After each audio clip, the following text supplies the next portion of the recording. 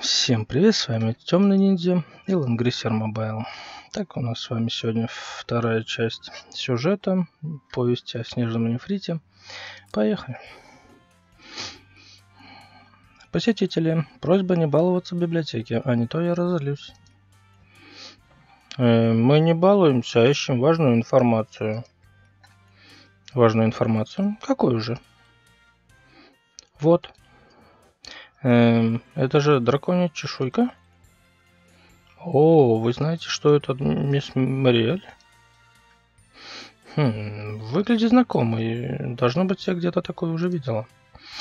Посмотрим, удастся ли мне найти подобное описание. Вот. Драконии, омываемые великой рекой времени, живут легендарные дракониане. Как я и предполагал, эта чешуйка один в один совпадает с той, как в кни... что в книге.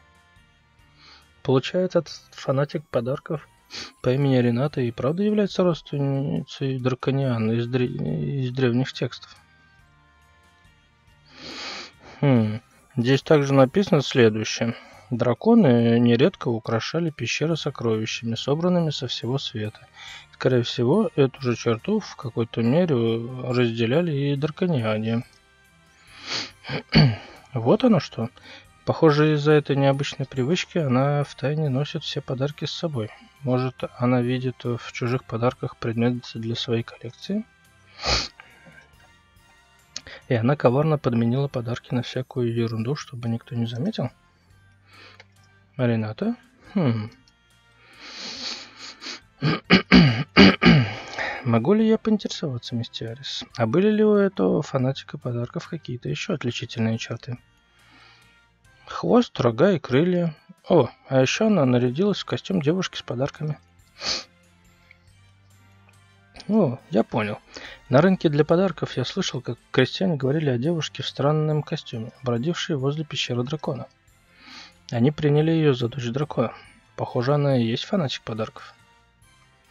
Значит, она прячет подарки в пещере дракона? Ясно. Я немедленно отправляюсь туда. Погодите-ка. Убежала. Тиарис может и выглядит молодо, но ее рвению может позавидовать любая героиня.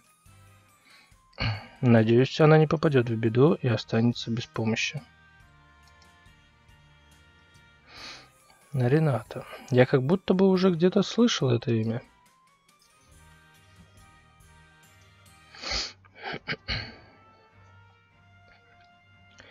Фу, хорошо, что я успел добраться сюда до наступления темноты. Но где же мне ее искать? Или же она объявится только с наступлением темноты? Хм. Это подарки, которые Рената обменяла на этот раз? Да, я слышала, что ее заметили. В следующий раз ей нужно действовать осторожнее. Хм, Какие-то необычные, приземленные, ничего не стоящие безделушки. Да это ж обычный мусор. Нет смысла их возвращать и открывать по очереди, как будто так и нужно. Наберись терпения, Соня. Только так мы сумеем понять, что дарят люди во время вручения подарков. К тому же, если мы незаметно обменяем подарки на что-нибудь получше, получившие их люди обрадуются, верно?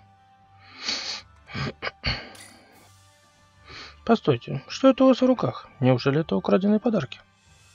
Вы что, действуете вместе с фанатиком подарков? Э, в смысле украли? Не смей обвинять меня в, такой, в таких делах. Я думаю, сейчас не время с ней спорить. Мы так долго к этому готовились. Нельзя допустить ошибку. Да, верно. В таком случае... Снеговик, помоги нам ее задержать.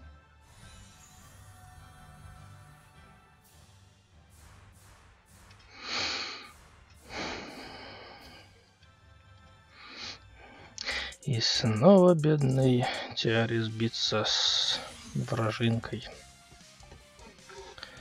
Что ж, проклятие, они еще и снежного монстра призвали. Это точно какой-то заговор.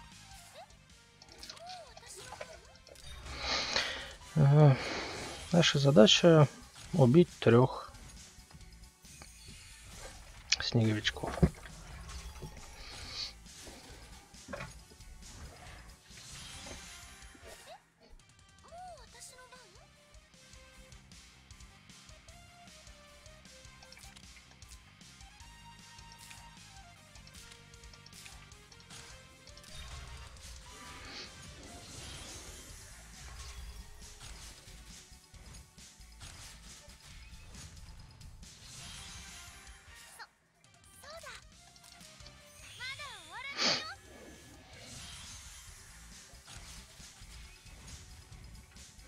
Ой, снеговик проиграл, уходим.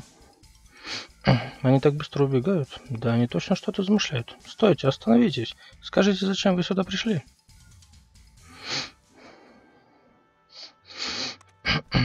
В принципе, уровень абсолютно несложный, так же, как и первый. Это почему это помещение такое странное? Может, мне стоит вернуться за подмогой?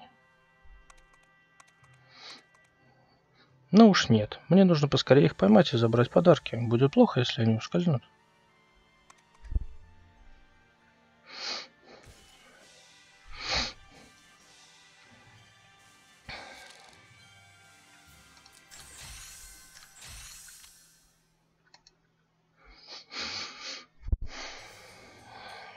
Да здесь же горы подарков, украденных у горожан. Хм, объединились, значит. Вот уж не думала, что ты проследишь за мной до сюда. Фанатик подарков? Повторяю, никакой я не фанатик. Кроме того, по традиции меня нужно называть девушкой с подарками, разве нет? Но ты не девушка с подарками, ты гадкая девчонка, которая крадет и портит чужие подарки. О чем ты говоришь? Кстати, раз уж вы обнаружили, что мы подменили подарки, как вам нравится? Нравится? О, точно. Я так и знала. Люди, должно быть, были просто вне себя от радости, когда увидели наши подарки. Ну как можно устоять перед рок-н-ролльным скелетом, поющим слаймом, кричащим будильником, дьявольским яблоком или демонической соковыжималкой? Хм. Например, когда я заметила кулинарную книгу Эльсалли, когда я заменила кулинарную книгу Эльсали на безбожно острый рецепт пирога, настоящую библию демонической кулинарии. Леди Флоренция так обрадовалась, что тут же отправилась в эпическое кафе, чтобы ее опробовать.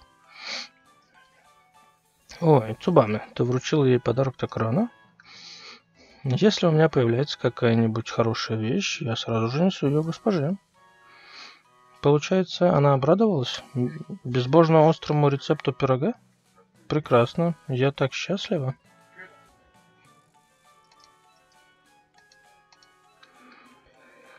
После того, как госпожа испекла имбирного человечка, она ненадолго отошла, а когда вернулась, его уже кто-то съел. Похоже, угощение удалось на славу. У леди Флоренции такая прекрасная улыбка. Я не думаю, что дело было в этом. Как бы то ни было, эти подарки нужно немедленно вернуть. Если люди откроют подарки, полные всякой странных предметов, все очень расстроятся, и день подарков будет испорчен. Все людские подарки такие обычные и скучные. Вот мы и решили обменять их на что-то более интересное. Из-за чего тут расстраиваться?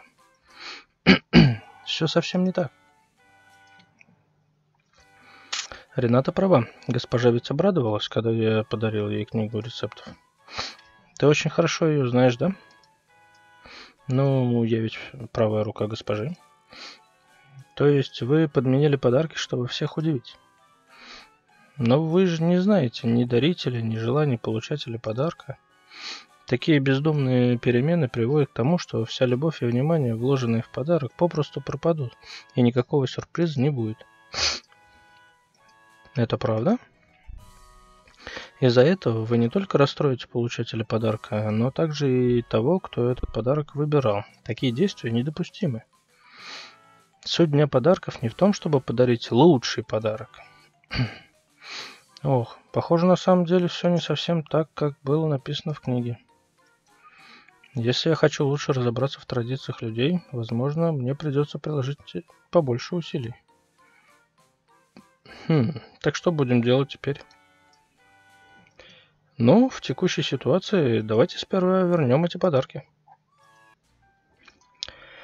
Вот такой вот у нас получился уровень. Надеюсь, было интересно. Но с вами был Темный Ниндзя. До новых встреч и пока-пока.